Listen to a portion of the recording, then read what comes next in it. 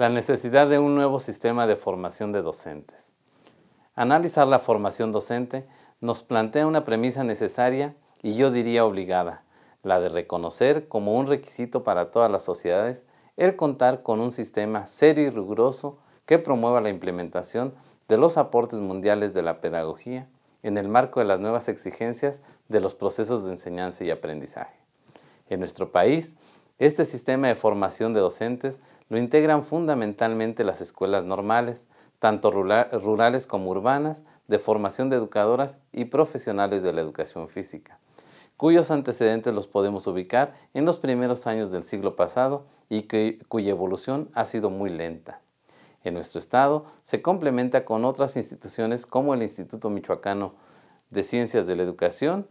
y el Centro de Actualización del Magisterio, que en los últimos años se han incorporado también un número de instituciones de carácter privado que ofrecen licenciaturas que atienden lo educativo.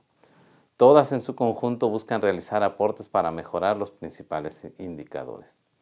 En los últimos años, y de forma particular, se ha cuestionado ampliamente el funcionamiento de las escuelas normales, principalmente en lo que atiende al monopolio de ingreso y a la exigencia de los espacios laborales de forma automática. Poco se ha analizado los diseños curriculares, los resultados que tienen en las aulas y en general su práctica docente, es decir, como muchos aspectos de la vida educativa, se atiende generalmente lo superficial y muy poco la profundidad.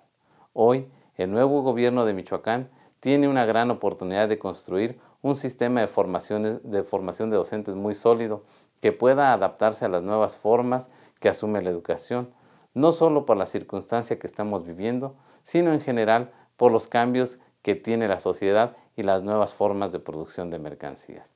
También tiene la, oportunidad de incorporar a los educadores michoacanos a la toma de decisiones, a quienes han aportado, si no a la pedagogía universal, por lo menos a la latinoamericana o mínimo al proyecto educativo nacional y estatal. Con ello, puede evitar la improvisación de los últimos gobiernos y generar política educativa anulando la ocurrencia que hemos padecido. Muchas gracias.